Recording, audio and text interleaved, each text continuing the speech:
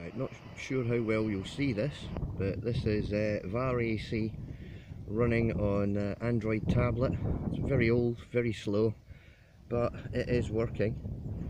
Um, I just had a bit of a, a, chat with a few stations using the new broadcast um, settings. So uh, yeah, it's working on the Android. Uh, out here on the Wi-Fi mesh network back to the radio on the PC in the house.